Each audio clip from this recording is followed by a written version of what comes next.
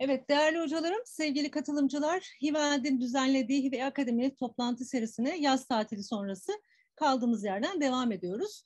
Toplantılarımıza ilk olarak 9 Mart'ta başlamıştık ve o günden bugüne yaklaşık 9 oturumumuz oldu. Ee, bugün itibariyle artık toplantılarımıza daha sık aralıklarla devam edeceğiz.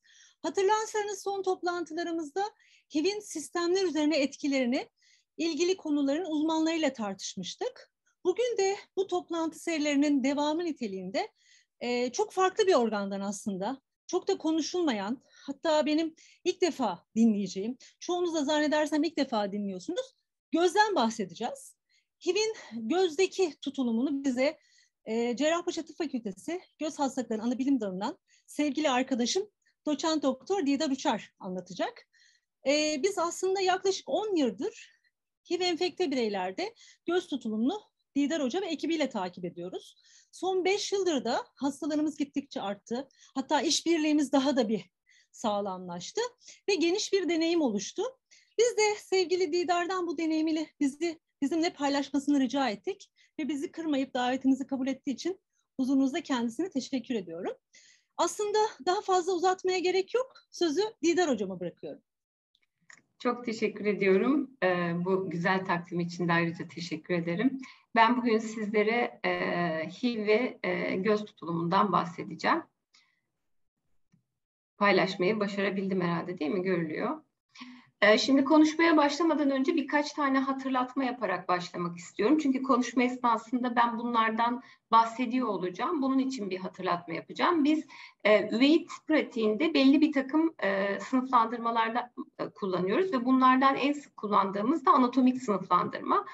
Anatomik olarak üveyitleri ön, orta, arka ve tüm kompartmanlar bir arada tutuluyorsa da panüveit olarak biz kendi içimizde sınıflandırıyoruz ve bunu günlük pratiğimizde çok sık bir şekilde kullanıyoruz. Konuşma içinde de e, bunlardan bahsediyor olacağım zaten. Yine konuşmaya başlamadan önce e, bir takım bizim günlük pratikte çok sık kullandığımız görüntüleme yöntemlerinin normal hallerini göstermek istiyorum. Çünkü bunların e, pek çok patolojik formunu yine konuşma içinde size gösteriyor olacağım. Hani bu sonuçta sizin e, günlük hani e, iş pratiğinizde çok alışık olmadığınız görüntüleme yöntemleri olduğu için bir hatırlatma babında sadece. Bu renkli fundus fotoğrafı bizim seri olarak e, hastalarda çekip takiplerde kullandığımız çok sık bir yöntem. E, floresein anjiyografi yine vasküler sistemin tutulumunu e, takip etmek için, varlığını araştırmak için günlük pratikte çok sık kullandığımız bir görüntüleme yöntemi. Yine optik koherens tomografide e, retinayı kesitsel olarak değerlendirmemize olanak tanıyan e, retina ve üveit pratiğinde çok sık kullandığımız bir başka görüntüleme yöntemi. Bunların bütünlüğü bizim için çok önemli. Retinanın anatomik bütünlüğünü bize çok iyi gösteren bir görüntüleme yöntemi e, optik koherens tomografi. Yine bununla ilgili de hasta örnekleri üzerinden konuşuyor olacağız. Şimdi HIV gözde e, bütün dokuları tutabilir. Gerek oküler yüzey, gerek ön segment, gerek arka segment. E, bütün dokularda pek çok patolojik e, tabloya neden olabilir ama ben bugün sizlere arka segment tutulumundan bahsediyor olacağım. Ee, peki posteriorda ne yapar HIV? Evet gözde pek çok tutulum yapar. Posteriorda bizim karşımıza nasıl çıkar? Sadece HIV'e bağlı olarak karşımıza çıkabilecek e, HIV retinopati, e, mikroanjiyopati olarak da karşımıza gelebilir. En sık karşılaştığımız HIV'e bağlı e, retinal bulgu kendisi. Onun dışında yine vaskülit, oklüzü vaskülopati, e, e, optik nöropati, HIV'e bağlı e, optik, optik nöropati e, ve e, kronik multifokal retinal infiltratlar şeklinde de de karşımıza çıkabilir. Non-enfeksiyöz posterior tablolara hiç girmeyeceğim. Bugünkü konumuz değil. Bugün esas ana konusu enfeksiyöz posterior tutulumlar. Bunlardan da e, CMV retinitiyle başlayıp sifilis, e, tüberküloz ve toksoplazmadan bahsedip konuşmayı tamamlamayı planlıyorum. Şimdi e, biliyoruz ki HIV'de fırsatçı enfeksiyonların immün e, sistemin yapısıyla çok alakalı olduğunu ve özellikle CD4 sayısıyla da e, bu hastalıkların gelişim risklerinin e, arttığını biliyoruz. CD4 sayısı azaldıkça bunların riskinin arttığını biliyoruz. 500'ün ee, altına düştüğünde CD4 sayımız e, yaygın tüberküloz enfeksiyonu daha sık karşımıza çıkıyor. 150'nin altına düştüğünde toksoplazmoziste ve varicella zoster viral retinitiyle biz daha sık karşılaşıyoruz. E, CD4 sayısı 100'ün altına düştüğünde, özellikle de 50'nin altına düştüğünde CMV retiniti için büyük risk teşkil ediyor. E, şimdi HIV retinopatisi ile başlayacak olursak, HIV retinopatisi %50 ila 70 kadar oranda HIV pozitif hastalarda bildirilmiş. En sık e, HIV'e bağlı göz bulgusu aslında kendisi. Hart tedavisiyle beraber prevalansta azalma da yine e, bildirilmiş e, durumda. Burada gördüğünüz gibi böyle gelip geçici yumuşak eksudalar şeklinde bunlar bu hastada görüldüğü gibi çok sayıda olabileceği gibi birkaç tane olarak da karşımıza çıkabilir. Tek gözü tutabilir, her iki gözü bir arada tutarak karşımıza gelebilir. Buna e, hemoroji eşlik edebilir, etmeyebilir, etmek zorunda değil ama ettiğinde de başka bir yöne götürmez bizi. Çünkü hemorajinin de eşlik edebileceğini biliriz. Bir de mikroanevrizmalar yine klinik tabloya eşlik edebilecek bulgular arasında. Bu hastalar genellikle asemptomatiktir. Yani başka bir nedenle bize yollandığında biz e, işte HIV retinopatisi olduğunu e, tespit ederiz. Genelde de bunlar CD4 sayısı düşük hastalarda işte CMV retiniti var mı acaba diye bize danıştığımız hastalar olur.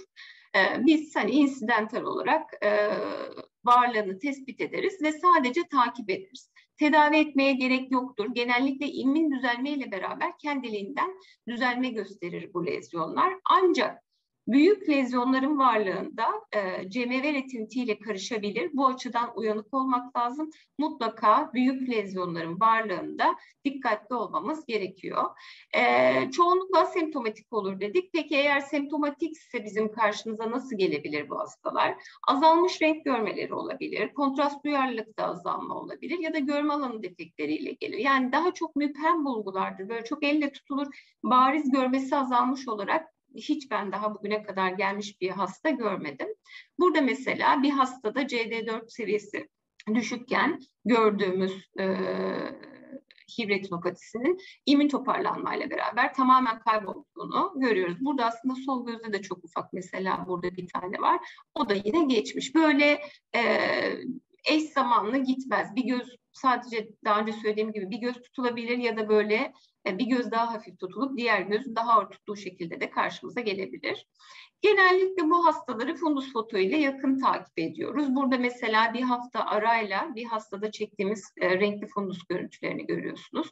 Lezyonların bir haftada küçülmeye başladığını, mesela özellikle şu foveanın üstündeki lezyona bakarsanız belirgin küçülmeyle düzelmeye doğru gittiğini görebiliyoruz. Burada da haftalık takiplerle olan seyrini görüyorsunuz. Ee, ilk başta gösterdiğim hastanın fotoğrafları bunlar. Genellikle böyle çok hızlıca geçmezler. Bir iki ayı bulabilir de tamamen kaybolmaları.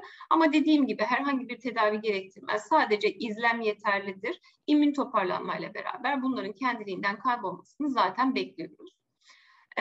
Daha önce de söylediğim gibi geniş lezyonlarda CMV retinit açısından dikkatli olmak lazım. Burada ikisini yan yana koyduğum bir fotoğraf. Bu mesela HIV retinopatisi olan bir olgumuz. Bu da CMV retinit olan bir olgu. Yani daha geniş bir yumuşak eksuda olsaydı burada karışma ihtimali de daha yüksek olabilirdi. CMV retiniti açısından dikkatli olmak gerekiyor bu olgularda sadece. Hile bağlı e, optik nöropati çok sık karşımıza çıkmıyor. Çok nadir. Bizim hiçbir olgumuz yok. Bu literatürden koyduğum e, bir olgu. Biz optik nöropatiyi daha çok fırsatçı enfeksiyonlara bağlı olarak görüyoruz. O şekilde karşımıza geliyor. Genellikle hart tedavisiyle düzelme olduğu bildiriliyor ama e, tedaviye rağmen düzelme e, artışı, görme artışı alamayabilirsiniz. Ama bariz bir şekilde burada her iki optik diskteki atrofik görünümü çok net bir şekilde izleyebiliyoruz. Gelelim e, fırsatçı enfeksiyonlara. Buna CMV retinitiyle başlamak istiyorum. Çünkü biliyoruz ki CMV retiniti e, bu grup hastalarda, HIV pozitif hastalarda en sık karşılaştığımız oküler fırsatçı enfeksiyon nedeni. Hart tedavisinden önce %20 ila 40 e, oranlarında e, e, gelişim bildiriliyordu. Hatta %90'lara varan oranlarda körlükle sonuçlanıyordu bu olgular tedavi e, antiretroviral tedavi sonrasında yüzde 75-90 e, oranlarında CMV retiniti gelişiminde azalma e, izlendiğini yine yapılan çalışmalardan biliyoruz. E, yine e, çalışmalar bize diyor ki CMV sero prevalansı erişkinlerde yüzde 50 iken e, MSM e, HIV pozitif bireylerde bu oran yüzde 95 yüzlere kadar çıkıyor. E, ve eğer harp tedavisi altındayken bir e, hasta CMV retiniti geçiriyorsa önce tedavide bir uyumsuzluğu var mı yok mu bunu kontrol etmemiz gerekiyor. Çünkü bu tedavi altındayken çok da beklediğimiz e, bir durum değil. E, konuşmanın başında da söylediğim gibi immün e, durumla e, çok ilişkili. Yani immün baskılanma olduğu sürece CMV riski artıyor. Bu anlamda önemli. E, gelişimi için az önce de söyledim. CD4 sayısının 50'nin altında olması belirgin risk faktörü. Aynı zamanda CMV ve HIV e, transaktif virüsler. Bu sebeple HIV'e e, bağlı immünsüprese bireylerle non-HIV immünsüpreseler karşılaştırıldığında aslında CMV'nin HIV e, pozitif olan immünsüprese bireylerde daha sık görülümünü de buna bağlanıyor yapılan çalışmalar. E, birbirinin gelişimini ve e, progresyonunu hızlandırdıkları düşünülerek e, bu oranın yükseldiği bildiriliyor. Ee, CD4 sayısı dışında başka ilave risk faktörlerimiz neler olabilir? Düşük CD8 sayısı e, yine risk faktörü olarak bildirilmiş yüksek kan HIV seviyeleri, antiretroviral tedaviyi almıyor olması hastanın ve erkek cinsiyet bizim çalışmalarımızda risk faktörü olarak bildirilmiş. E, genellikle bu hastalar aslında semptomatik, rutin oftalmolojik muayenede tespit ediyoruz. Yine işte e, bunlar sizin CD4 sayısının düşmesine bağlı olarak tarama amacıyla yolladığınız hastalar oluyor. Ee, eğer semptom varsa genellikle puslu görme şikayeti oluyor bu hastaların ama onun dışında görmede azalma, ışık çakmaları, uçuşmalar, skotomlar da tarifleyebilir hastalar. Ve eğer hastanın semptomu varsa bu bize daha yaygın, daha ağır bir tutulum olduğunu söylüyor zaten. Ya daha ağır, ağır bir retinit tablosu söz konusu, ya makula tutulumu söz konusu ya da optik sinir tutulumu olduğunu bize söylüyor bu durum. Tanıyı aslında biz klinik olarak e, koyuyoruz. E, deneyimli bir oftalmolog tarafından dilate fundus muayenesi tanı koymak için yeterli. Ancak yine de tabii ki arada kaldığımız çelişkili durumlar, e, klinik tablolar her zaman söz konusu. Bu gibi durumlarda ön kamera ya da vitreous örneklemesinden PCR ile bakmak bizim tanımızı destekler. E, aynı zamanda diğer herpes ailesi üyelerinden de bazen e, çünkü CMV e, ağırlıklı olarak arka kutbu tutar e, ama nadiren periferi de tutabilir ve bu gibi durumlarda diğer herpes ailesi e, işte varicella ve e, herpes tip 2 retinitiyle karışabilir. O gibi durumlarda daha çok. Hani tipik klinik prezentasyonunda değil de atipik prezentasyonunda biz daha çok PCR isteriz CMV retinitinde. E, gene 3 tip klinik prezentasyonu mevcut. Birazdan bunların örneklerini zaten paylaşıyor olacağım. Granüler, fulminant ve e, donmuş dal manzarası diye geçer bizde. Frosted branch angiitis e, tabiri vardır. Bu üç klinik tabloda karşımıza gelebilir. Burada bir granüler e, örneğini görüyoruz. Burada beyaz, sarı beyaz e, retinal nekroz alanını görmekteyiz. Lezyon e, genellikle periferden böyle satelit e, lezyonlar vererek perifere doğru genişler. Aynı zamanda santralde de iyileşme gösterir. Virüs replikasyonu yavaş olduğu için bir yandan iyileşirken lezyon bir yandan da yayılmaya devam eder. Eğer siz bunu tedavi etmezseniz aslında kendi çok pardon aslında kendi kendini e, iyileştirecek belki ama bütün retinayı atrofiye uğratarak iyileştirecek ve bu da tamamen ciddi bir görme kaybı demek. Bu bölgeleri tedavi ettiğinizde de bu bölgelerde skotoma olacak hastanın. O yüzden ne kadar erken tanır, ne kadar erken ve e, hızlı tedavi ede, edebilirseniz, başarırsanız bunu o kadar az görsel fonksiyon kaybına neden olursunuz. Aynı hastanın diğer gözünde de bakın arka kutupta böyle yumuşak eksud örnekleri görüyoruz. Bunlar CMV e, retiniti değil, hastanın diğer gözünde de aynı zamanda HIV retinopatisi olduğunu da gösteriyor. Ama şimdi şurada paylaştığım fotoğrafta bakın burası HIV retinopatisine ait ama burada üst nazalde hastanın bu gözde de tutulumu olduğunu bize gösteren bir retinit alanı mevcut. Bu hastanın ikinci hafta görüntüleri. Bakın o aktif bölgedeki lezyonun tedaviyle beraber ne kadar gerilediğini daha tam olarak iyileşmemiş ama e, ciddi anlamda bir gerileme gösterdiğini görüyoruz. İyileşirken atrofiyle skabrarak iyileşir bu lezyonlar ve daha önce de söylediğim gibi o bölgelerde skotom gelişmesine neden olur. Özellikle arka kutup lezyonlarında e, bu bizim için çok önemli çünkü çok ciddi e, görme kaybı anlamına gelir. Tedaviyle beraber genelde bu lezyonlar 4-6 hafta gibi bir sürede tamamen kaybolur. E, çok e, ekstrem bir tutulum yoksa. Burada da hastanın birinci yıl fotoğraflarında, e, takiplerinde bakın hiçbir e, nüks olmadan tamamen lezyonun e, atrofiyle iyileştiğini görmekteyiz. Bir başka olgu, bakın damar trasesi boyunca yol almış retinik ve eşlik eden hemorojileri görüyoruz. Bu e, tip tutuluma yani granüler tip CMV tutulumuna hemoroji eşlik edebilir, etmeyebilir. Ederse genelde minimal hemoroji eşlik ediyor olur. Ve CMV lezyonları genellikle böyle bir vasküler trase boyunca ilerler. Çünkü virüs e, endotelya tropik bir virüs olduğu için genelde her zaman değil ama çoğunlukla benim için birazdan paylaşacağım örneklerde de göreceksiniz. Çoğunlukla böyle bir damar trasesi boyunca izlenim gösterir. Tedaviyle de bakın bu kenardaki granüler o ilerlemekte olan lezyonun tedaviyle tamamen iyileştiğini ve e, progresyon göstermediğini görüyoruz. Bu e, diğer tipimiz fulminant tip çok ağır bir tip e, tutulumdur. Bunda tam kat nekroz söz konusudur. Diğerinde granüler tipte olduğu gibi yüzeyel değildir tutulum ve nekroz alanını daha böyle sarı beyaz olarak görürüz ve bu tipe hemoroji daha sıklıkla eşlik eder. Burada bakın bilateral çok ağır tutulumlu bir CMV retinti görüyoruz. Bu tablo e, gerçekten böyle çok ekstrem bir örnek. O yüzden de zaten örneklem yapılarak PCR'la da e, doğrulanmış bir hasta bu hasta. E, bu bizim hastamız değil. Bizim bu kadar ağır bir fulminant örneğimiz yoktu. O yüzden bunu ben e, bir e, meslektaşımdan alarak paylaşıyorum sizinle.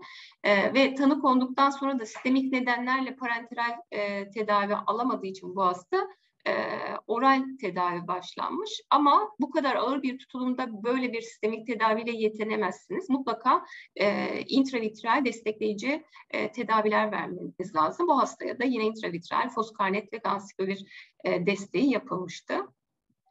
Ee, üçüncü tipimiz bu donmuş ağaç dalı manzarası dediğim e, frosted branch angiitis e, tablosu. Burada gördüğümüz bu e, damarların etrafındaki beyaz görünüm işte ilk bulunduğunda donmuş ağaca benzetilmiş. O yüzden böyle bir ismi var. E, burada kombine bir e, klinik prezentasyon görüyoruz. Üstte daha önce bahsettiğim gibi böyle damar arkası boyunca devam eden bir fulminant e, tip var. Hemorajinin de e, eşlik ettiği.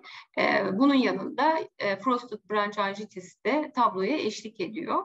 E, frosted branchitis CMV'ye spesifik bir klinik tablo değil. Non-enfeksiyöz üveitlerde de bizim karşımıza çıkıyor ama mutlaka gördüğümüzde o hasta için CMV'yi de aklımızda tutarız. Yani e, eğer bir işte HIV hastası değilse normalde de karşımıza geliyorsa bu olgu bir dakika hani bunda CMV de olabilir o kısmı da atlamayayım diye akılla aklımızda mutlaka bulunur.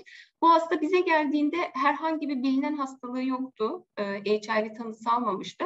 Sağ görmem azalma var diye bize geldi ve direkt klinikle e, bu hastanın tanısını koyduk biz. Ama bu hastalarda biz zaten CMV retiniti gördüğümüzde mutlaka immünsüpresyon araştırmak zorundayız. E, CMV normalde immün kompetan bir bireyde e, görmeyi beklediğimiz bir retinit türü değil. E, bu hastadan direkt zaten e, HIV taraması istedik ve pozitif geldi. Hastanın diğer gözüne baktığımızda aslında şikayet olmayan diğer gözünde de yeni başlangıçlı bir retinitinin tabloya eşlik ettiğini görüyoruz.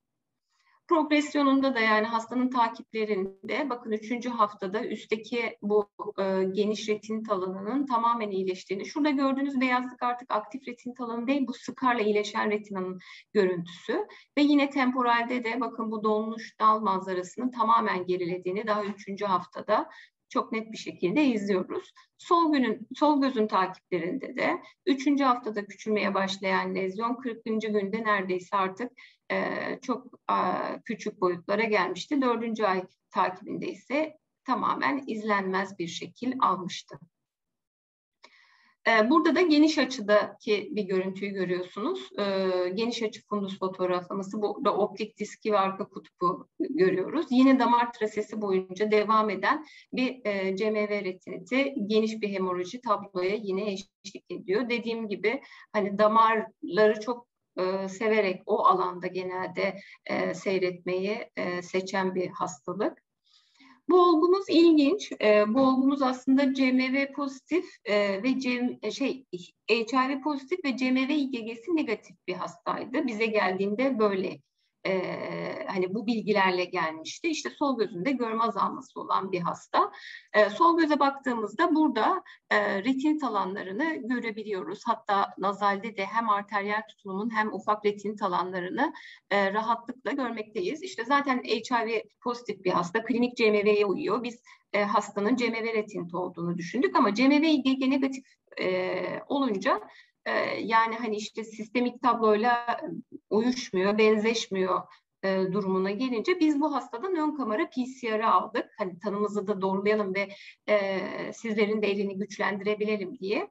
Burada da e, anjiyografi görüntülerini görüyorsunuz hastanın. Ön kamera PCR'da CMV DNA'sı pozitif geldi bu hastanın. Yani bizim klinik tanımızı doğrulamış olduk biz. Daha sonrasında da e, tekrarlanan e, testlerinde CMV IgG'si pozitifleşti. Bu çok da beklenen sizler açısından bir durum değil e, bildiğim kadarıyla. Özellikle dikkat çekmek istiyorum ki e, bu tür e, tablolar literatürde ileri hastalıkta olabileceği yönünde bilgiler var. E, ağır e, HIV olgularında CMV-IgG ile e, CMV retiniti tanısının e, hani a, olamaz bu CMV retiniti değil dememek gerektiğiyle ilgili bilgilendirmelerde mevcut literatürde. Peki tedavide ne yapıyoruz? Tedavide elimizde gansiklovir, valgansiklovir, foskandilet ve sitofovir var.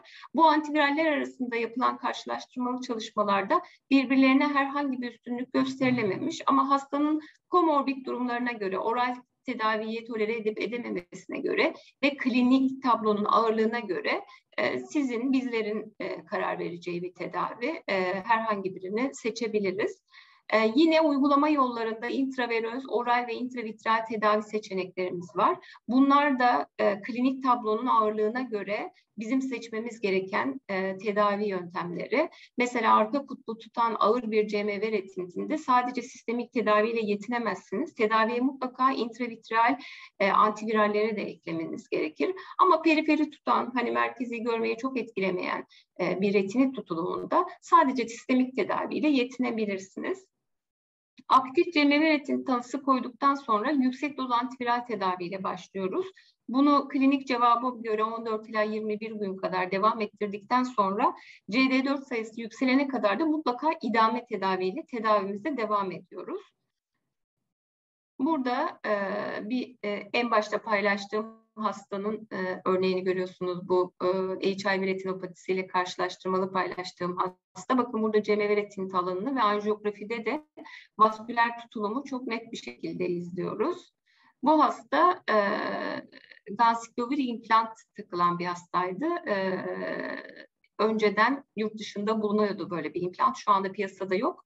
E, ancak işte etkisinin sınırlı olması vesaire nedenleriyle daha sonra üretimi durduruldu. E, tedaviyle bu tür implantların da e, oküler e, CMV tutulumunda e, başarılı olabileceğini gösteren bir olgu maalesef şu anda kullanımımızda değil.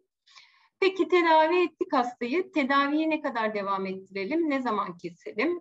E, bununla ilgili CD4 hücre sayısının 100 mililitrede 100'ün üzerine çıkmasını beklememiz gerekiyor e, takiplerde CMV retin alanlarının tamamen skarlaşmış olduğunu görmemiz gerekiyor ve 3 ila 6 ay kadar da relapsız olarak bu hastaları izlememiz gerekiyor. Bunlar aslında yaklaşık 4 ila 6 aya tekabül ediyor zaten. Hani aktif lezyonun e, işte iyileşmesi 4 ila 6 hafta sürüyor. Bu arada işte eğer tedavi almıyorsa e, sizlerin tedavisinin başlam, başlamanız, immün toparlanma e, vesaire derken bunlar zaten yaklaşık bir 4 ila 6 ay e, kadar sürüyor. O yüzden ortalama minimum e, kliniğe göre daha da uzayabilir bu. E, bu sürelerde tedaviye devam etmemiz gerekiyor. E, tedaviyi e, çok iyi yapsak tamamen iyileşme sağlamış olsak bile bu hastaların tedavi sonrası takiplerini de iyi yapıyor olmamız gerekiyor. E, çünkü e, antiretroviral tedavi başarısızlığı olabilir, hastanın tedavi uyumsuzluğu olabilir. CMV retinit reaktivasyonu açısından mutlaka bizim hastayı takip etmeye devam ediyor olmamız gerekiyor. CDC'nin e, bu antiretroviral tedavi öncesi CD4'ü 50'nin altında olan hastalarda her 3 ila 4 ayda bir rutin göz muayenesi kadar bir önerisi vardı. E, ancak şimdi hani tedavi sonrasında böyle bir belirlenmiş çizelge yok. E, ama görüyorum ki sizler genelde zaten CD4 düşünce e, bu hastaları bize yönlendirmeyi seçiyorsunuz. Aslında doğru olan da bu. Çünkü hastaların %50'si zaten asemptomatik asemptomatik olarak geldiklerinde ağır bir retinit tutulumuyla geliyorlar ve bu da görsel prognozu kötü etkiliyor. O yüzden aslında aralıklı olarak yollamak doğru gibi görünüyor yine de bu olguları. Bir de son olarak CMV ile ilgili ümün toparlanma üveyetinden bahsetmek istiyorum. E, bu aslında sizin iris dediğiniz tablonun gözdeki yansıma yansıyan şekli. E, antiretroviral tedaviden sonra immün düzelme ile beraber CMV antişenlerine karşı gelişen bir enflamatuar cevap söz konusu. Aktif bir enfeksiyon yok ama immün yanıt var. Ee, bunu da biz klinikte nasıl görüyoruz? İşte tedavinin bitmesiyle beraber ya da bitmesine yakın makula ödemi, retinal neovaskülarizasyon veya katarak şeklinde bizim karşımıza çıkabiliyor bu e, hastalar. Ve ne kadar siz başarılı bir tedavi yaparsanız yapın yine de görme kaybıyla sonuçlanabilir bu tablo. E, bunun için risk faktörleri neler? E, antiretroviral tedavi ile immün rekonstrüksiyonun sağlanmış olması, geniş CMV lezyonları ve silobevir kullanımı olarak bildirilmiş literatürde. Gelelim bir diğer fırsatçı enfeksiyonumuza, sifilize. Sifiliz aslında e, HIV'den bağımsız olarak bizim için büyük taklitçi olarak bilinen bir e, patojendir. Yani gözdeki bütün üveitik tabloları taklit edebilir sifiliz. Ee, diğer bir diğeri de tüberkülozdur. Biz o yüzden bütün üveit hastalarında mutlaka bunun her ikisini kontrol ederiz. Çünkü sizin karşınıza nasıl geleceği hiç belli olmaz. Hasta HIV olsun ya da olmasın. Ee, bu anlamda dikkatli olmaya e, özen gösteriyoruz. E, HIV pozitif bireylerde de e, sifiliz gelişiminin 86 kat arttığı, riskin arttığı e, ilgili e, bildiriler var. Erkek kadın oranı e, fazla. Erkeklerde e, 9,5 onlardayken yüzde bu oran e, kadınlarda 1,5. E, artmış plazma HIV yükü ve azalmış CD4 sayısı ile ilişki bildiriliyor ama bu, bu ilişki CMV'de olduğu kadar kuvvetli bir ilişki değil. Yani CD4 sayısı gayet iyi kendi hasta karşınıza sifilis üveytiyle gelebilir. Ee, biz sifilis tanısı konan her hastada e, aynen CMV'de olduğu gibi mutlaka HIV açısından tarama yapıyoruz. Çünkü e, birlikte ilişkisi çok yüksek olan e, patojenler. E, HIV pozitif hastaların sifilize yakalanması daha muhtemel. Aynı zamanda da e, sifilis progresyonunu dahi çok e, daha ağırlaştıran e, bir tablo. O yüzden e, biz mutlaka her sifilis koyduğumuz hastada HIV taraması yapıyoruz. E, harp tedavisi almayan sifilis hastalarında da bilateral hastalık ve posterior tutulum gelişim ihtimali daha yüksek olarak bildiriliyor. Yine CMV gibi sifilis de gözde hemen her dokuyu tutabilir. Ee, ama ben bugün sizlere e, posterior tutulumdan, retina ve optik disk tutulumlarından bahsediyor olacağım. Ee, en sık olarak karşımıza vitritin eşlik ettiği korioretinitle geliyor sifilis. E, tipik olarak arka kutbu ve mid periferi tutar. Lezyonlar başlangıçta küçüktür ama bu arada tanı alıp tedavi başlanmazsa büyüyüp birleşerek e, daha geniş alanlara yayılır. E, sifilisin her evresinde göz tutulumu olabilmesiyle beraber retina ve koroidin tutulmasının genellikle sekonder sifiliz evresinde olduğu yayınlarda bildirilmiş. E, olguların yarısında da yine bilateral tutulum söz konusu. Burada e, 52 yaşında bir erkek hastada non-spesifik halsizlik atakları ve döküntü e, şikayetleri var. Burada hastanın el ve ayak fotoğraflarındaki döküntüleri görmekteyiz. Her zaman böyle e, ek bir bulguyla gelmez yani ipucuyla gelmez hastalar size. Her zaman böyle döküntü ile gelmeyeceklerdir ama bu da bizi tanımızı destekleyen kolaylaştırıcı bulgular. Bir buçuk haftadır gözde kızarıklık, ağrısı ve bulanık görmesi olan bir hasta. Dört yıl önce e, HIV tanısı alıyor, e, harp tedavisi de başlanıyor ancak hasta takibi bırakıyor. Bu gelişimdeki CD4 sayısı 178'lerde. Hastanın sağ gözüne baktığımızda böyle alt nazalde e, sarı beyaz renkte retinal tutulumu görüyoruz. Yine burada arteriyel e, bir beyazlanma görüyoruz. Arteriyel tutulum enfeksiyöz üveyitlerde bizim için çok önemlidir. Eğer böyle bir arter duvarında beyazlanma e, vesaire gibi bir ipucu yakalayabilirsek bizim için e, bir dakika bu olgu enfeksiyöz olmasın dedirtir bize. Bizim için buradaki arteriyel e, beyazlanma da önemli bir bulgu. Hastanın sol gözüne baktığımızda ciddi bir e, vitreous inflamasyonuyla karşı karşıyayız ve serolojik incelemesinde de RPR'sinin reaktif sifiliz IgG'si pozitif olarak geliyor. Hemen hastaya e, sifilis tanısı koyarak kristalize penisilin e, başlıyoruz. Tedavi sonrası fotoğraflarını görüyorsunuz. Bakın o bölgenin tamamen atrofiyle hem retina hem bir miktar koroidde atrofiyle e, gerilediğini görmekteyiz. Bu bahsettiğim arterin de daha belirgin bir şekilde beyazlanmış, boşalmış olarak görüyoruz. E, şimdi sifilis e, pek çok üveyit tablosunu taklit edebilir demiştim. Karşımıza her tabloyla gelebilir ama birkaç tane tablo var ki daha özellikle hani gördüğümüzde ya bir dakika bu sifilize çok benziyor bu bu sifiliz dedirtir bize. Onlardan bir tanesi akut sifilitik e, posterior plakoid koiloretinit. E, nadir görülür. Aslında biz o kadar da nadir görmüyoruz. Literatürde biraz daha nadir olarak bildiriliyor. E, sekonder sifilit hastalarında tanımlanmış. Tipik olarak arka kutbu veya da yakınlarındaki bir bölgeyi tutar. E, bir veya daha fazla sarımsı plakoid şeklinde dış retinal katları tutan lezyonlarla bize gelir. Burada buna bir örnek görüyoruz. Bakın hastanın sağ gözünde arka kutbu tutan geniş sarı beyaz, sarı gri e, plakoid bir lezyonu var. Her zaman da bu kadar e, göze çarpıcı da gelmez. Daha müpem bulgularla da gelir. Bu hasta da böyle biraz çok e, kitabi dört dörtlük olan bir hasta. Her zaman bu kadar dediğim gibi e, belirgin olmayabilir bu plakoid lezyon. Hastanın diğer gözünde de aslında bulgusu var ama e, hastanın bu gözde bir şikayeti yok. Çünkü daha henüz foveyi tutmamış ve bu gözdeki çok belirgin olduğu için bunun farkında değil henüz. E, bu dış katları değerlendirdiğimiz otofluorans floresans dediğimiz bir görüntüleme yöntemi var bizim. Burada gördüğünüz e, o görüntüleme yöntemi. Bakın tam plan uyduğu bölgedeki hiperotofluoresans e, belirgin bir şekilde dikkatimizi çekiyor. E, bu hastaya anjiyolarını görüyoruz. Bakın yine plan olduğu bölgede hiperfloresansı ve optik diskteki inflamasyona bağlı da hiperfloresansı görüyoruz. Hastanın e, aslında sol gözünde şurada ufak bir lezyonu vardı renkli fundus fotoğrafta ama anjiyografide aslında sol arka kutbunda etkilenmeye başladığını e, net bir şekilde izleyebiliyoruz. E, bir de bu ilk başta size o sitiler göster, o siti göstermiştim normalini. Bu hastalıkta o siti çok kıymetli. Çünkü bu dış katların e, destrüksiyonuyla sonuçlanıyor. Dış retinal katları tuttuğu için bu hastalık burada bakın şu iki e, çizginin bütünlüğü bozulmuş durumda. İç kattaki çizgiyi hiçbir şekilde göremiyoruz ki bu bize fotoreseptör tabakasının sağlıklı olduğunu gösterir. Alttaki retina pigment epitel tabakasını işaret eder.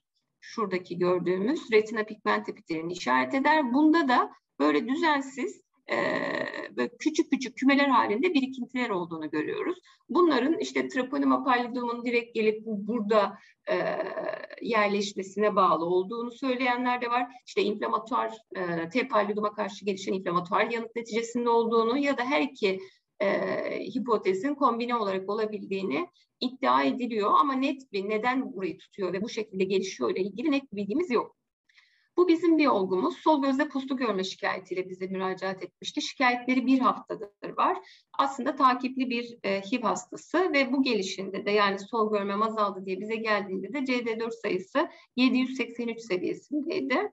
Bu hastaya bir anjiyografi yaptık biz. Bakın az önceki hastada gösterdiğim gibi bu arka kutupta nokta nokta şeklinde e, hiperfloresan e, alanlar var. Sol gözde de bu hiperfloresan noktalar daha silik ama daha aslında daha geniş bir alanı etkileyen bir düzen bozulması söz konusu. Yine optik diskte de e, inflamasyonu gösteren hiperfloresans izliyoruz.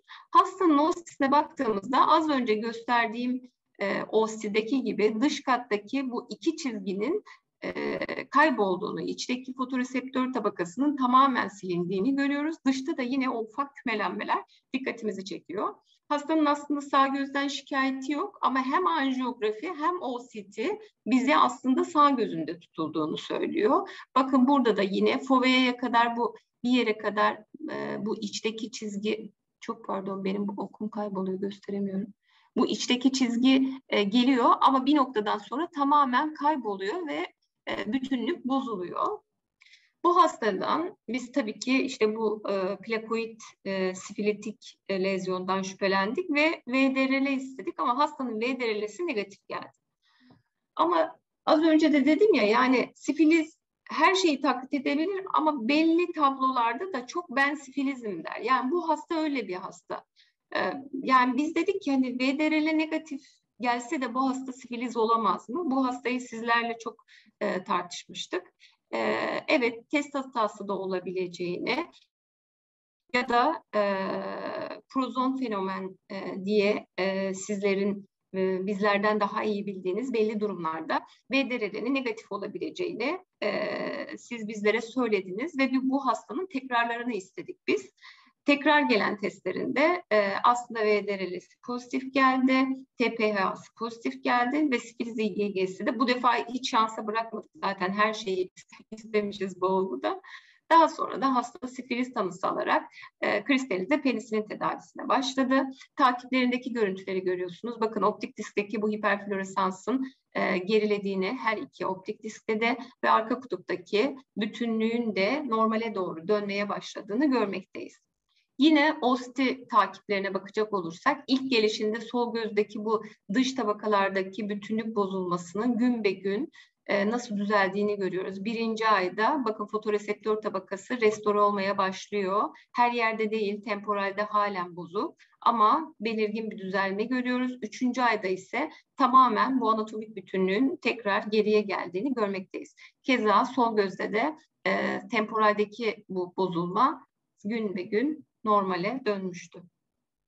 Ee, az önce de söylediğim gibi HIV koenfekte bireylerde yabancı negatif sonuçlar bildirilmiş. Bunun için prozon fenomeni suçlanıyor. Dilüye edilerek serumun tekrar bakılmasıyla e, işte pozitifleşebileceği bildiriliyor yayınlarda. Bir de tabii ki e, test hatası olabileceği e, akıllımızda olmalı. Bir de sizler yine bize söylediniz ki çok erken hastalıkta da BDRL negatif olabiliyormuş.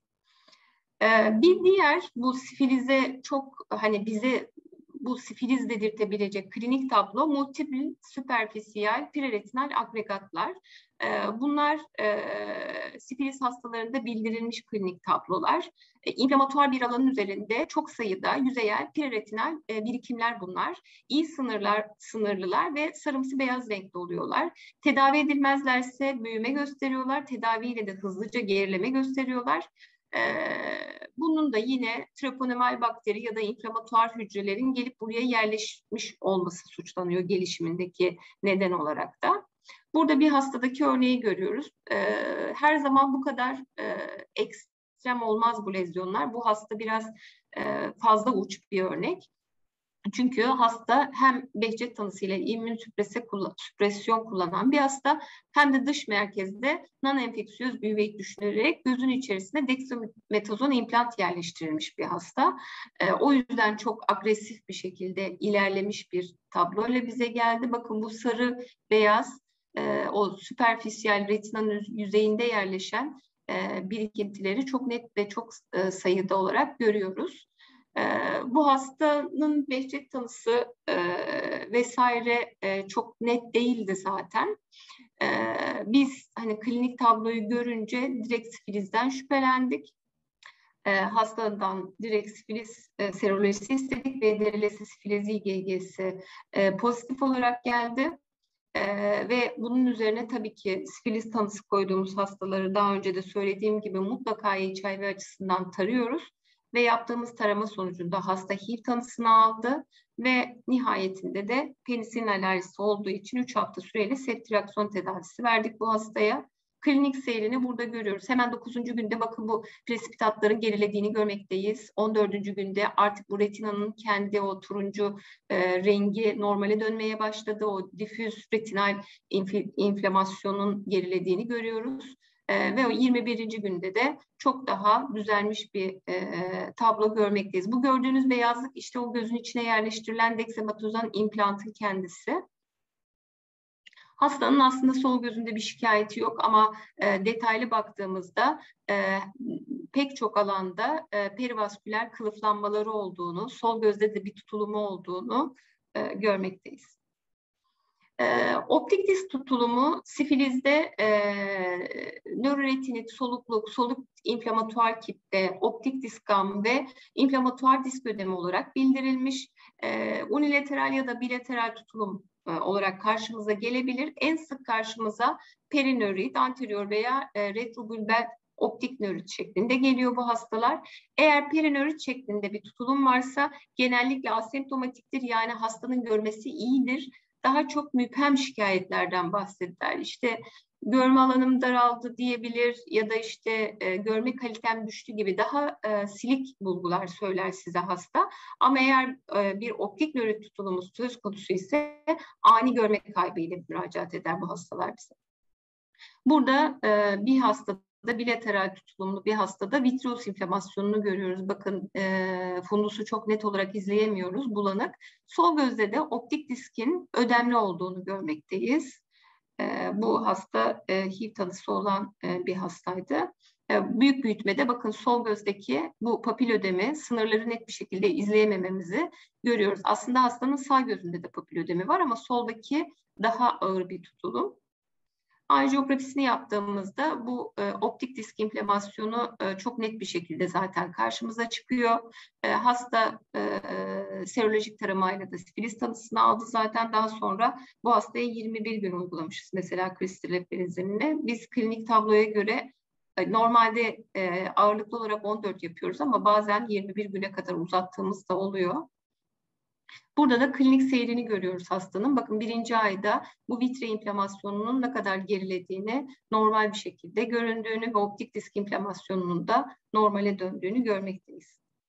Bu da anjiyografik gelişimi. Bu optik diskteki boyanma hemen gerilemeyebilir. E, bu hastalığın devam ettiği anlamına gelmez. E, takiplerle e, beklediğimizde bunun zaten kendiliğinden düzelmesini bekliyoruz.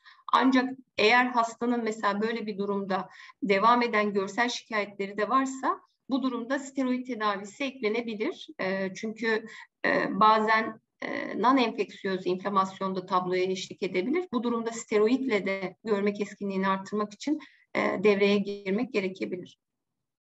Sifilis tanısı e, klinik şüphe ve serolojik testlerle doğrulama sonrasında koyuyoruz. E, gerektiğinde destekleyici görüntüleme yöntemleri kullanıyoruz. İşte sizinle pek çoğunu paylaştım. Anjiyografi olabilir, oosite olabilir ya da otofloresans olabilir. Gerektiğinde onları biz kullanıyoruz zaten. CDC'nin önerilerine göre tarama olarak e, önce treponomal antikor tespitini öneriyorlar. Eğer pozitif gelirse e, daha sonra non-treponomal testler ve repere e, bakılması şeklinde bildiriliyor. Tedavide peki ne yapıyoruz? Tedavide oküler sifilizi biz nörosifiliz olarak e, tedavi ediyoruz. Çünkü e, penisilinin her formu kan retina bariyerini geçemediği için etkili olamıyor. Mutlaka kristalize penisilinle tedavi etmeniz ve minimum 14 gün boyunca bu tedaviyi sürdürüyor olmanız lazım. Eğer hastanın bir penisilin alerjisi söz konusuysa bu durumda 14 gün boyunca, minimum 14 gün boyunca septirakson tedavisi vermeniz gerekiyor. Dediğim gibi biz klinik tabloya göre bu 14 günü daha da uzattığımız olgular olabiliyor. Burada da bir panüveit örneği görüyoruz. Sadece posterior tutmaz e, sifiliz. Bazen böyle e, panüveit şeklinde de karşımıza gelebilir. Bakın burada minimal hipopiyonuyla, ön kamerada fibrin reaksiyonuyla, e, arkada ise sol gözde ciddi bir vitriti ve optik disk ödemiyle karşımıza gelen bir olgu. Burada da anjiyografik görüntülerini görmekteyiz. Bir diğer fırsatçı enfeksiyonumuz tüberküloz. Ee, bu da bizim diğer büyük taklitçi olarak e, bildiğimiz e, patojenlerden. Yine sifiliz gibi gözde hemen her tabloyu taklit edebilir üveit e, tablolarından. E, HIV ve e, tüberküloz e, birlikteliğinde aktif tüberküloz gelişiminin 10 kat e, arttığını biliyoruz normal popülasyondan yapılan çalışmalardan. Özellikle de CD4 sayısı 200'ün altındaysa bu risk daha da artıyor. E, HIV ve aktif tüberküloz birlikteliğinin oküler tutulumla ilgili, oküler tüberküloz gelişimiyle ilgili bir artışa neden olup olmadığı net değil. Onu tam olarak bilmiyoruz. E, klinikte peki biz nasıl görüyoruz e, bu hastaları? Granulomatoz üveitle geliyor bu hastalar bize. E, posteriorda da en sık koroidal granulom şeklinde görüyoruz. Daha nadir olarak supraretinal apse, intermediate üveit, panüveit, vaskülit e, veya e, başka pek çok klinik tabloyla gelebilir. Dediğim gibi bizim e, en büyük maskeleyici tablolarımızdan kendisi. Genellikle posterior tutulum yapar, ciddi bir tablodur ve e, disemine hastalıkla ilişkilidir. E, tanıyı primer olarak klinik şüpheyle koyuyoruz. Daha sonrasında da tabii ki diğer organ tutulumları araştırılarak kesin tanıya gidiyoruz. Burada bizim e, HIV tanısıyla takip edilen ve e, enfeksiyonu ateş nedeniyle e, yatırılan bir hastanın fotoğraflarını görüyoruz. E, bize gözde herhangi bir bulgu var mı? Hani e, bize o, o sırada e, tam tanı alamamıştı enfeksiyon açısından da. E, hani gözle ilgili destekleyici bir bulgu var mı diye bize yolla, yollamıştınız. E, hastanın sol gözünde bakın arka kutupta burada birden çok sayıda granulomun olduğunu net bir şekilde görebiliyoruz. Hastanın sol göz arka kutbunda herhangi bir şey göremiyoruz. E, hastaya indüsiyenin yeşil anjiyografi e, yaptık. E, bu e, bizim koroidi görüntülemekteki e, en e, etkili görüntüleme yöntemimiz ICG. Bakın e, ICG'de de e, gördüğümüz lezyonlardan daha da fazla sayıda granulom olduğunu hastanın. Hatta e, sağ gözünü normal olarak gördüğümüz fundusta da aslında klinik olarak görünmeyen ama var olan iki tane koroidal granulomunun da olduğunu ICG bize gösterebiliyor. E, bu hastada hani yüksek oranda tüberküloz şüphesi olduğunu biz size bildirdik. Daha sonra da onunla ilgili gerekli tedavisini almıştı. Diğer klinik araştırmalar da neticesinde. Burada da OST'deki e, bir, bu granulomun görünüm şeklini görüyoruz. Bakın koroid, burası koroidi bize gösteriyor. Burası retina, burası da vitreus. Koroiddeki granulomatöz e, yapıyı net bir şekilde görebiliyoruz OST incelemeyle. Bir diğer hastamız e, yine e, HIV tanısı olan e, ve e, yüksek ateşte tetkik edilen bir hastaydı. Bize geldiğinde bakın arka kutupta burada iki tane granulomu, şurada çok silik net bir şekilde izlenmeyen e, bir lezyonu vardı. Solda da arka kutupta yine çok ufak izlenen bir e, granulomu düşündüren lezyonu vardı. Bu hastaya da yine biz ICG yaptık. E, ve ICG'de de yine e, granunomlarla uyumlu bölgelerde hipofloresans, hatta sol gözde bizim izlediğimizden daha fazla sayıda e, hipofloresan e, granulomatöz yapıların olduğunu gördük. Sonra bu hasta da tüberküloz tanısı aldı ve tedaviye başlandı. Ancak bu hastanın granunomları tedaviyle beraber ilerleme gösterdi. Daha sonra tabii bu karşılıklı enfeksiyonla beraber işte disipliner yaklaşımla işte hani direnç mi gösteriyor vesaire e, araştırmalarından sonra biz bu hastaya e, aslında paradoksal e, kötüleşme e, diyebildiğimiz yarısı Alzheimer e, reaksiyonu tanısı koyduk ve bununla beraber steroid tedavisi ekledik bu hastaya. Bakın steroid tedavisinden sonra buradaki o kitlesel yapının nasıl gerilediğini, ve atrofi ile beraber düzelme gösterdiğini görüyoruz. Alttaki lezyon ve diğer gözdeki lezyonun da aynı şekilde iyileştiğini görmek mümkün. E, son olarak e, toksoplazmadan bahsedeceğim. Toksoplazma HIV negatif bireylerle karşılaştırdığımızda e, HIV pozitiflerde daha yüksek instansla karşımıza çıkıyor. Lezyonlar burada görüldüğü gibi CMV retinitine benziyor ancak e, CMV retinitinde olmayan vitreous inflamasyonu genellikle bu tabloya eşlik eder. Burada bizim çok e, görmeye alışık olduğumuz klasik bir tokso e, retiniti fotoğrafı görüyorsunuz. E, bu bir HIV hastasının değil, bizim normal emin kompetan bir bireyle karşılaştığımız bir tokso e, retiniti fotoğrafı. Bakın burada e, daha önce geçirilmiş skarın hemen yanında gelişen yeni aktif bir retinit e, skarı görmekteyiz. Bu tablo retinit e, HIV pozitif bireylerde daha az karşımıza geliyor. Yani HIV pozitif bireyler çoğunlukla skarsız böyle yeni denova e, retinitlerle bizim karşımıza geliyorlar. E, ve tedavi edilmezlerse e, fulminan forma dönüşüp görme kaybına gitmeye e, meyillilerdir. Yine tokso pozitif bireylerde bilateral ve multifokal olma eğiliminde MSS tutulumu tabloya eşlik edebilir ve tedavi için de normal standart antitoksa tedavi uyguluyoruz.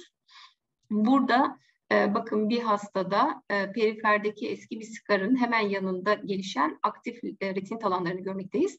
Ama normalde bizim alışık olduğumuz böyle bir ucundan başlar.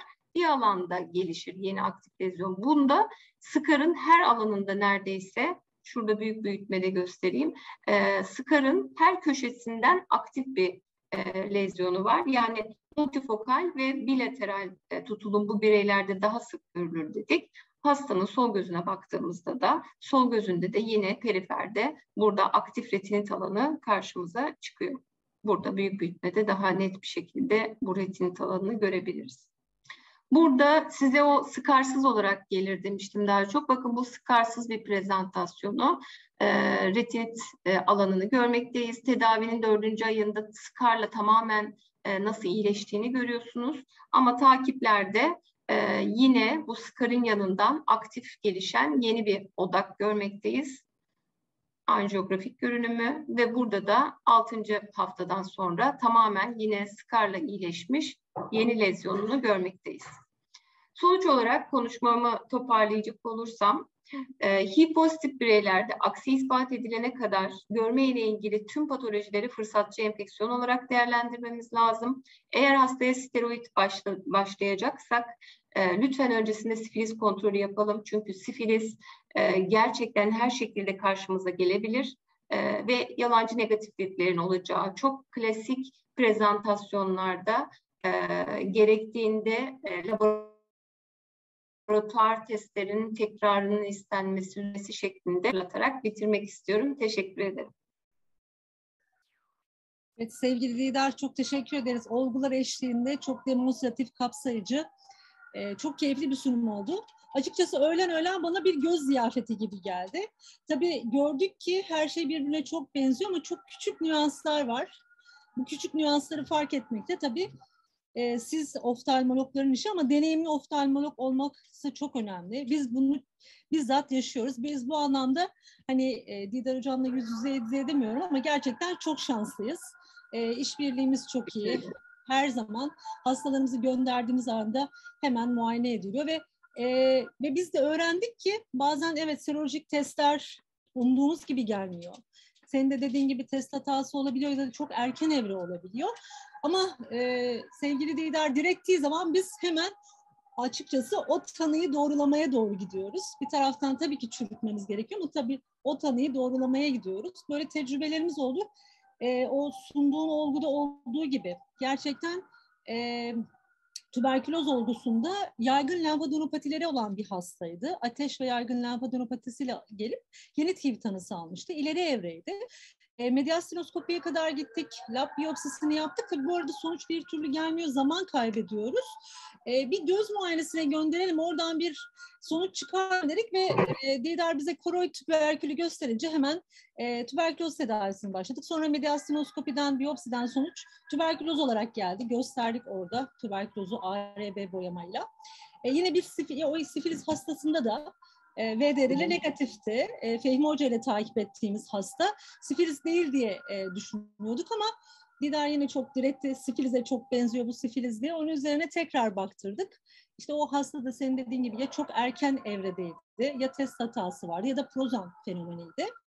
CMV olgusu da çok güzel bir olguydu gerçekten. E, bu olgu bağlamında ben de e, araştırdığımda gerçekten CMV IgG'nin çok ileri bir enfeksiyonu döneminde B hücre disfonksiyonuna bağlı negatif olabileceğini, e, tedaviyle birlikte tekrar pozitifleşebileceğinizi görüşe pozitifleşebileceğini gördük.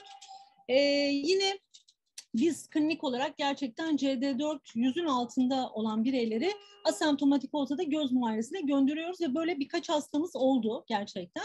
E, C3 kanıt düzeyinde öneriliyor rehberlerde de. CD4 düzeyi yüzün altındaysa asemptomatik olsa da gönderebilirsiniz. Hani artık tabii antiretroviral tedaviyle senin de dediğin gibi çok e, öneriler artık geriye düştü ama C3 kanıt düzeyinde hala öneriler var.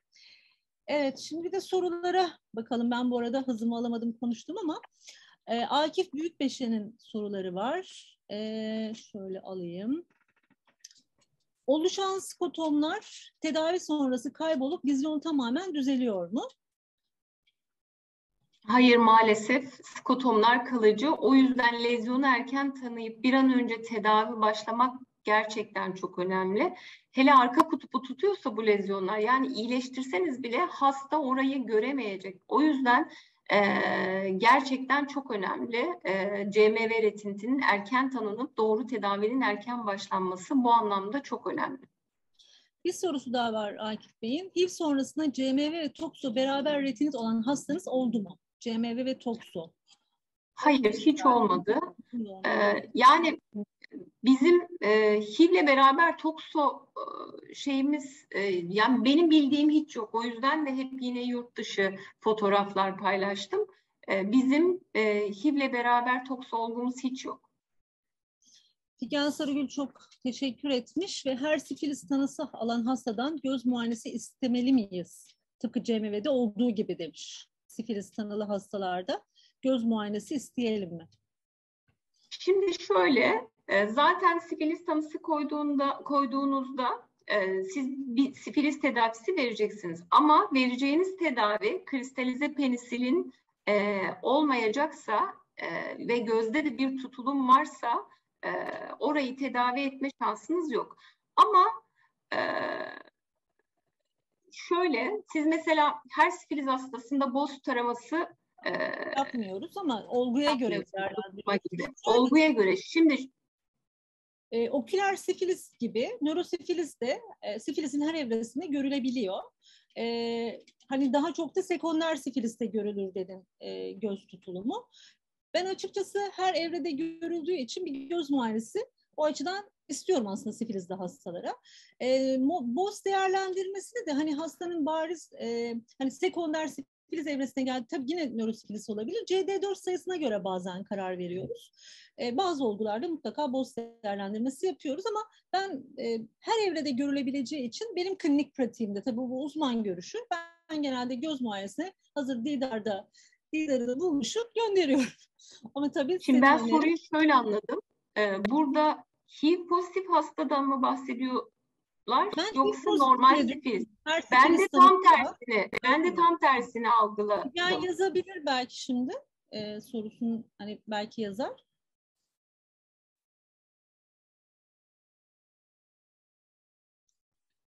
Figen yazana kadar Güldeniz Usta'nın sorusunu okuyayım. Sifilizde penisilin başladıktan sonra FFA kontrolü ne zaman yapılmalı? O da teşekkür etmiş. Şimdi şöyle, her hastada FFA yapılacak diye bir şey yok. Hastanın kliniğine göre yapılması gereken bir şey. Bir de hani sifilizde FFA ile kontrol edip tedaviyi ona göre sonlandırmanız da gerekmiyor. Yani bu biraz da bizim hani işte akademik e, şey yüzünden mesela ben size bu kadar kontrol anjiyosu vesaire gösterdim. Hani bu hastaları zaten bir yerlerde sunabileceğimiz vesaire açısından yoksa e, kontrollerde yani sifilizin tedavisi belli. E, oküler sifilizinde tanıyı koyduktan sonra minimum 14 gün olmak üzere nörosifiliz gibi kristalize penisilinle tedavi etmek durumundasınız. Ee, biz ki dediğim gibi kliniğe göre bunu 14 günün üzerine çıkabildiğimiz olgular oluyor. Ee, bundan sonra FPA'daki tüm görüntüler kaybolmasa da zaten tedaviyi sonlandırıyoruz klinik yanıtı aldıysak eğer. Çünkü FPA daha geç düzelme yapabilir. Aynen o sitide olduğu gibi daha geç restore olabilir. Ee, burada e, FPA bize e, tedaviyi sonlandırmak için yol gösterici bir görüntüleme tekniği değil. E, Figen de yazmış HIV pozitiflerde sonuyormuş. Ha, tamam. Yani bence HIV pozitifse hasta e, yollamakta fayda var. Teşekkür ediyoruz. E, sifilizle ilgili ben kendi pratiğimden yine Didar Hoca ile birlikte yaşadığımız hani sifiliz aslında 14 gün genelde kristalize penisilin ama göz muayenesi, kontrol muayeneler çok önemli. Geçen bir hastayı tam taburcu edecektik. Birden kontrole gitmediği aklıma geldi. Kontrole gönderdim. Daha gözü tam iyileşmemişti. 21 güne uzattık. Yine de gözünü kurtaramadık o hastanın. Ee, Çok geç gelmiş bir hastaydı. Evet. Pardon. Yok yok evet. Çok geç gel, bize çok geç gelmiş bir hastaydı. Sifilizde şöyle prezente olana kadar geçen süre de klinik sonuç için çok önemli. 28 günün üzerinde ise prognoz daha kötü olarak bildiriliyor zaten. E, o hasta bize öyle çok vakit kaybederek gelmişti. Hani biz görsel olarak ne kurtarabilirsek o kar diye e, bazı olgularda gerçekten 14 günün üzerine çıkabiliyoruz. O da öyle bir olguydu. Fatma Hocam teşekkür etmiş. HIV pozitif olgularda düzenli göz muayenesini önerir misiniz? Çünkü bir kez bakılan testte negatif olabiliyor. Örneğin sizin sunduğunuz VDRL gibi demiş. Düzenli göz muayenesi. Ee, yani şimdi ben açıkçası o olguları da biraz e, şey için hani böyle e, karşılaşabileceğimiz durumlar olduğu için gösterdim ama bunlar çok da sık karşılaşacağımız durumlar değil. Şimdi her HIV hastasını 3 ayda bir göz muayenesine yollayın işte dört ayda bir yani bu da biraz e, hani çok hem hasta için hem bizim pratiklerimiz için çok da e, uygulanabilecek bir yöntem değil. Şimdi her hasta için bunu söylemek mümkün değil ama özellikle e, işte uyumsuz hastalarda, CD4 sayısı düşük hastalarda yani semptomu olmasa bile yollamak e, bence gerçekten e, göz için hayat kurtarıcı olabilir. E, en azından bu durumlara e, dikkat etmek e, önemli diye düşünüyorum. Figen Hocam da biz sizin kadar şanslı değiliz. Hep randevuyla çalışılıyor. Problem yaşıyoruz. Gönderemiyoruz hastalarımız demiş. Buradan nazar boncuğumuzu alalım. Ee, gerçekten biz de çok şanslıyız, farkındayız. Her şey karşılıklı karşılığını alıyoruz. Karşılıklı işbirliği içinde gidiyoruz. Ne güzel, ne mutlu bize. Ee, gerçekten başka soru yok. Çok çok teşekkür ediyoruz bize katılımınız için sevgili Didar Hocam. Teşekkür ederim bu güzel davetiniz için. Keyifli çok teşekkür ederim. O zaman diğerki sunumlar için de buradan bir söz almış oluyoruz diye bağlayayım ben. ee, evet, şimdi e, bir sonraki oturumu hatırlatmak istiyorum. Aslında yakın haftaya 5 Ekim'de yine sistemlerle ilgili tutulumlara devam edeceğiz. Bu kez sindirim sistemini Yusuf Ziya Erzin'den e, dinleyeceğiz. Haftaya 5 Ekim'de ee, görüşmek üzere demeden önce bugünkü toplantının sponsoru Glia'da teşekkür etmek istiyorum. Ve aynı zamanda bu saatte bizimle birlikte olduğunuz için, e, öğleni bize ayırdığınız için, bizi dinlediğiniz için siz sevgili katılımcılara teşekkür ediyorum. Ve izninizle de oturumu kapatıyorum. Hoşçakalın.